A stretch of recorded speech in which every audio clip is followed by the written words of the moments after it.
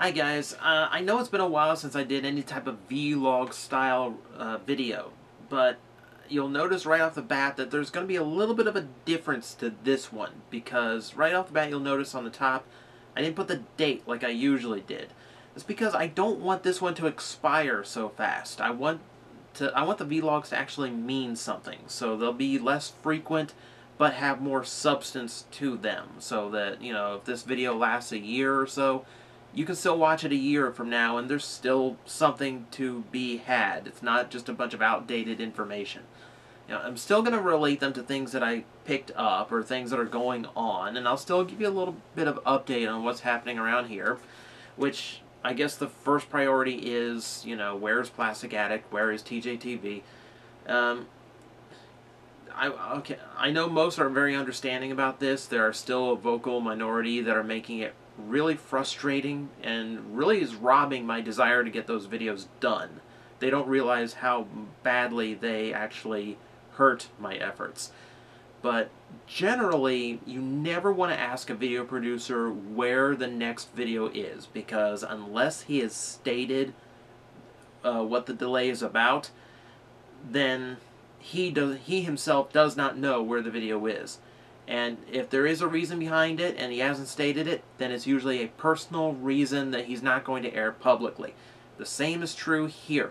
It has been extremely stressful. The last, I'd say, last half year or so has been an absolute train wreck. And it's it's been nothing but stress and drama and just crap I don't want to get into. But needless to say, you're not much in a funny mood when it happens, so making fun of a bad toy or an old cartoon really doesn't have much priority anymore. Uh, don't, you know, I'm still doing it, I'm still going to get it out when I can. Trust me, the delay frustrates me far more than it frustrates anyone out there. Because I do enjoy doing this. You know, I'm not, there's no reason to intentionally delay something I enjoy doing. So, there's no reason to think I'm holding it up on purpose or anything like that it's just I don't have the time. They're big, complex videos, and it's impossible to do right now, unfortunately. Now, that's why I've been doing more of the convention stuff. The convention stuff's easy to edit and throw together. Which, you know, it's quality stuff. I know it's not everyone's cup of tea, and I know they don't perform well, but you really should pay more attention to them. They, there's good stuff going on. They're they're funny. They're amusing. So let's okay. That all aside. That all aside. Uh, actual point to this video.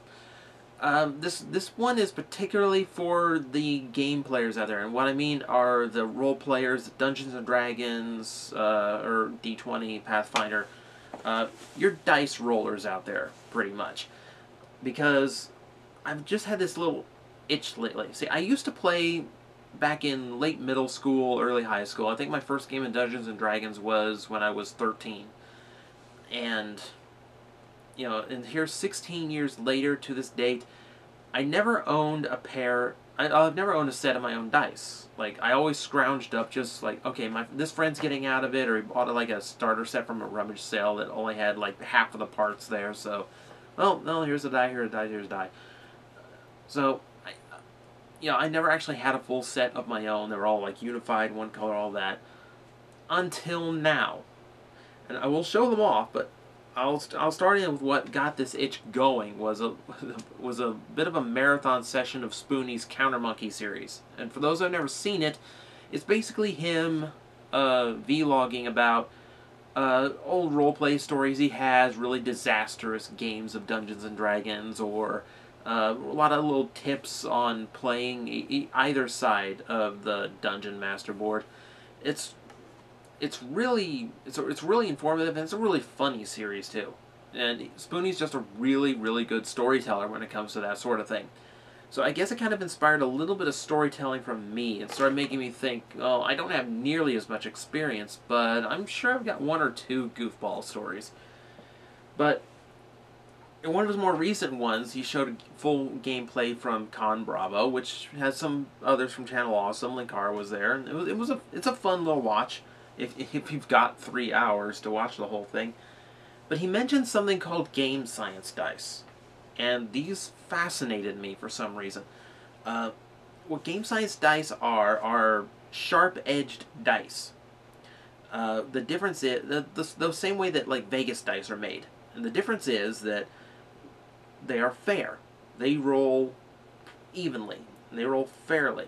Your typical die, uh, this type here, which let's see if I can actually get enough on it. No, yeah, the autofocus is going to give me annoyance, but you can see what my point here. Uh, you see the rounded edges to that? Okay, that's because these type of dice go through a dice tumbler to take off all of the extra mold flash, the little bit of molding that's from the plastic sprue, a lot of little imperfections, like little scratches and blemishes from when the mold is getting a little too old and starts showing a little bit of wear. Uh, that type of thing uh, usually gets polished off in a rock tumbler. Pa they paint the dice, they tumble them again, they tumble them with finer stuff to take all the little scratches out of the paint. And what you do when you do that is you're slowly you're taking off a bit of the plastic all the way around, but you're not doing it in a uniform manner. So you're going to get dice that have more plastic taken off of one side than another. You're going to get round edges that aren't straight enough and will not bounce the correct direction they're supposed to bounce. There's a lot of little flaws with them. So if you've ever, if a role player out there has ever and I'm sure everyone who's been in a role-playing group has had, you've either been this guy or uh, you knew this guy, who every, you could swear that 20-sided die of his hasn't rolled a 20 in months, and you just say, well, it's probably just my imagination, it's probably just bad luck at the worst. It might be because that die is not balanced correctly. And I want you to think back to anyone who's ever lost a character because you couldn't roll that last saving throw you needed.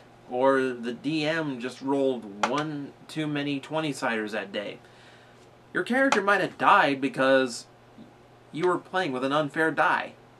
There literally was no way to save your character because the die just doesn't want to roll the numbers that you needed. Which sucks. So Spoony mentioned these game science dice, and what they are are dice that are taken straight out of the mold so that they have straight edges. I'll show you this green one here where you can, again the autofocus is not going to be helpful, but hopefully you can see enough of it to see straight edges. They have not been through a rock tumbler at any point. That means they're fair. Even the little blemishes from the molding process, which you know you might have to shave down or sand down when you get these, uh, aren't going to hurt anything that much. Uh, not nearly as much as the imperfections from the tumbling process. So, 16 years after my very first game of Dungeons and Dragons, I finally have a set of my own that's not mishmash from spare dice my friends didn't want anymore. And as you notice that with that, uh, you notice with that green one, they are all emerald my camera just really does not want to pick up what a nice color green it is. And you can see gold numbers that are hand painted. These uh, you can actually get these blank, so you can paint the numbers whatever colors you want, which is very cool and really cool because you can make some neat color combinations. There's a like a fire orange with some white. Guess those are my creamsicle dice. And little oddball ones. This one is just funky. Yeah, that's not a three-sided die. Look at that. That's a five-sided die. And you wouldn't think it would work, but it does. That's the amazing thing. That it just kind of freaks me out that that that the geometry is correct for that. So more than anything, they're kind of fascinating and they're pretty. You know, and I and I want to pick up some that are a little bit more game friendly. One, you know, opaque ones you can see from across the table and whatnot. But, ah, these are just fun. These are just really nice. Like, I want another set of these purple ones. I mean, those just came out really, really beautiful. So, it's a little bit of arts and crafts there, too. There's a sense of pride now. Like, I have gaming dice. Like, I feel like a complete geek now. Like, I'm whole. Hard to explain. It's, it's just one of those itches that I've always been meaning to get around to, and this was just it you know, and just kind of at the fault of one too many of Spoony's uh, roleplay videos, which, as I said, got me in a storytelling mood. And this one, I, I guess if I'm going to put a name to the story, it's uh, uh, Don't LARP Indoors. Now, the one, now, when I was in my little role-playing group in middle school, uh, we always played at my friend Ricky's house because Ricky had the nice stocked cabinets full of little treats, and uh, he had the big dining room table in view of the big screen TV in the living room, and the parents' bedroom, which was way across the house. So we didn't have to be all that quiet.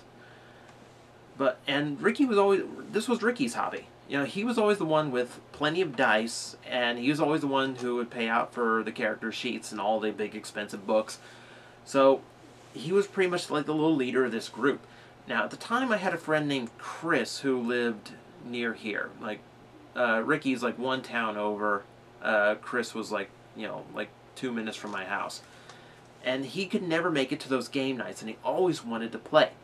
So, I think it was during I think it was during spring break when I set it up with Ricky, with the idea that, you know, you know, both of my parents work during the day and my grandmother will spend all day at her local watering hole.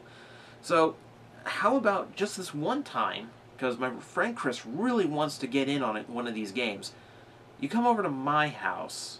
You know, we'll spend the night rolling up our characters, and then the next day, we have free range of the house. Completely empty. No reason to be quiet at all.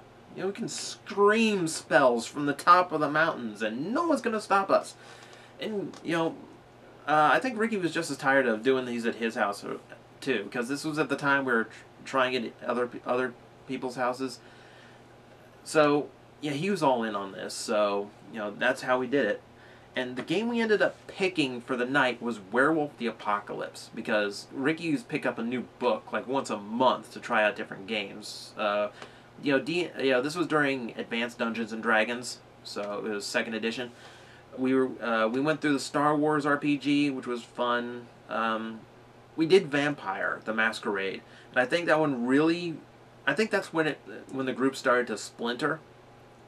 Because I was among this, uh, you know, there's like two or three of us, me included, that could not wrap our heads around being a vampire. Like basic mistakes right from the get-go, and I just could not get into this game at all. So the ones who wanted to keep playing kept playing, so you know, the group got smaller, and you know that was kind of the end of the role-playing group. So I was trying. So, but werewolf was fun. Werewolf we got into, and the fun thing about werewolf is you didn't have to be a werewolf. You could make all kinds of were animals. And they all had different tribe names, and I, I can't remember them offhand. But you had like were rats, were bears, which I always like to play on words there, uh, were ravens, which was cool, and what I like to play, which was a were gator, where you could base where when you kind of hulked out all the way, you basically became this mini T sentient T Rex, and it you just like absolutely destroy things. It was fun. So that uh, that was the fun of that game. So that's the one we decided to play over here because it's nice and easy for Chris to start getting into. A little bit, a little bit more. I don't think it was quite as complex as Dungeons and Dragons were. So we are over here, three of us playing up, and we are playing in the dining room table. And you know, I'm the kind that can't stand to stay still for too long. You know, if you know if I'm in the seat for too long, I'm fidgeting. I'm trying to find a new way of sitting, like under here. You know, I'm, you know, I, I can't stand to stay still for too long. So eventually, we're about an hour in, and I start getting up from the table and actually kind of more acting out what my character is doing, and I'm talking, you know, more dramatically. It doesn't help that we're all pro wrestling fans at the time, so all of us knew how to ham it up. So as I'm kind of getting into this thing, uh, Chris is starting to do this too, and then Ricky, you know, kind of chimed into, and all of a sudden we're all just kind of acting it out, and lo and behold, we had kind of self-invented LARPing before we realized that LARPing was an actual thing. LARPing being live-action role-playing for the people who have never heard that term. So basically the entire house became our little area. If our characters moved to a different camp or to another town, we would move to a different room. And basically we play anywhere that there was a flat surface to roll dice on. And our, you know, the favorite parts were the bedrooms and the living room because when we got into combat, we wanted a place to throw ourselves. So we needed something nice and cushy. We had nice cushy couches at the time, and at the time, uh, the bed the, this bedroom was not littered with toy shelves because this was before my collecting really hit off. At the time, I had not one but two twin beds in here. So my house was always the best one for sleepovers because no one had to crash on the couch or an air mattress. So this room was like perfect for this type of behavior. So someone roll oh 12 and boom, that's what a 12 looks like. Someone roll 14. Oh, that's what a four that's what a hit from a 14 looks like. So we're doing this little role playing. You know, we're acting all this out, and eventually uh, we make it to my grandmother's room. And my grandmother's room was probably the most useful because it's a solid U of carpet around the bed that's in the center of the room. So you had plenty of walking space around it. And if you tumbled onto the bed, you went off on the other side. Whereas here, if someone, you know, tumbled into a bed and hit a window, which would really put a abrupt end to the role-playing session, I think. So during this time, we're in my grandmother's room, and we're we're still rolling, you know, we're still playing up in our fight, and we get into a fight scene, and uh, Ricky, who's playing both minor character and uh, being the GM, uh, rolls the first twenty against one of us, and it's me. So I just got I just got hit with a crit, and my thought is I gotta make this look good. You know, because remember, a 14 looks like, oof, you know, so 12, a 20 has to look oof, huge. So I kind of brace myself, and I'm standing on I'm standing on the far side of the bed, toward the foot, and I kind of vault myself over the foot of the bed, over one corner, onto the other corner. And right after I hit, I'm on the floor. Way faster than I expected to be on the floor. And I can hear, and as I'm on the ground, I can, you know, making sure nothing on me is broken. And I can hear Ricky and Chris behind me go, "Oh crap!"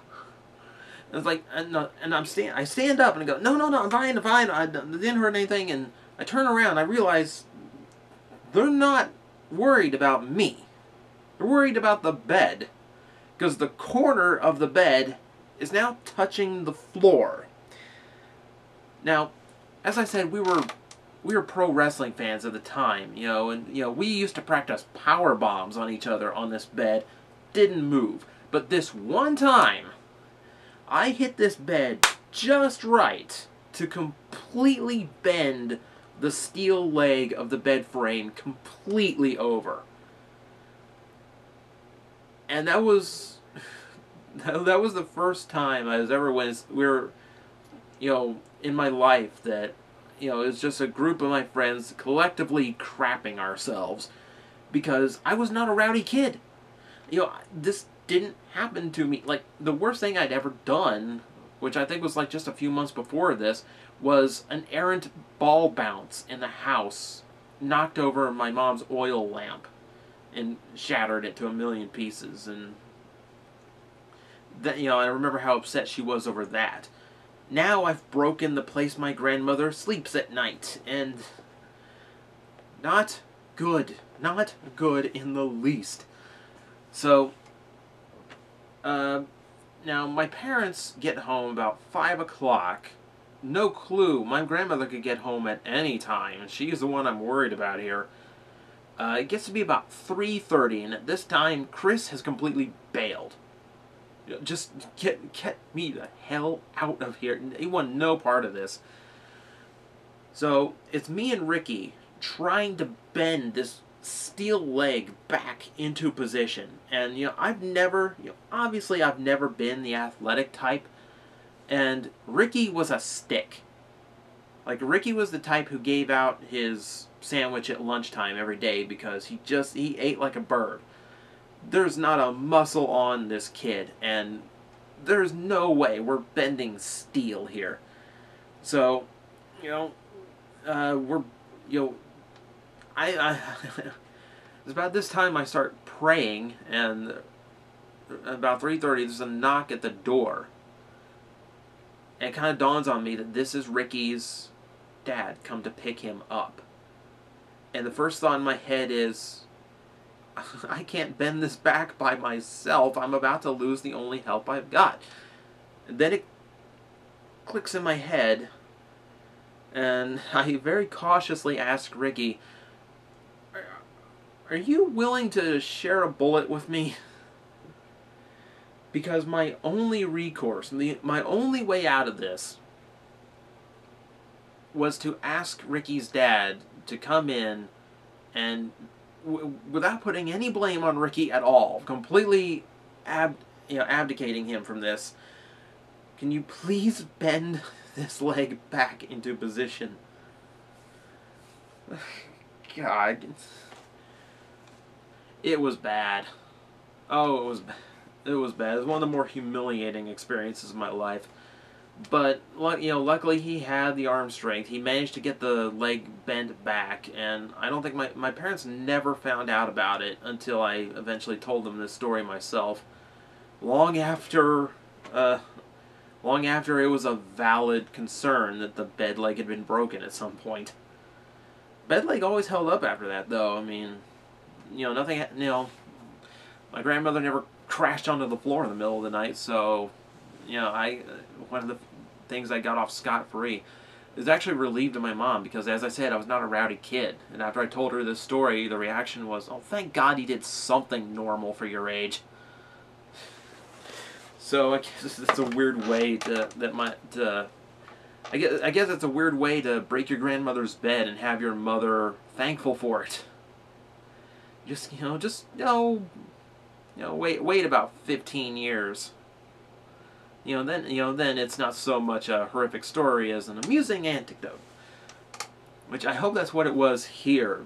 Uh, it's, it's the one roleplay story I have. That was the end of roleplay night at my house. And as I said, the group kind of broke off after that when we started the vampire game. I, I'm entertaining the idea of getting a group together on Skype, and that's not an invitation to anyone out there. This would be, you know, people I directly know only. Because I know a bunch of friends who used to be into D&D, not anymore. Uh, the trick is finding people on Skype that I actually trust with the honor system, because I'm not a big fan of virtual dice.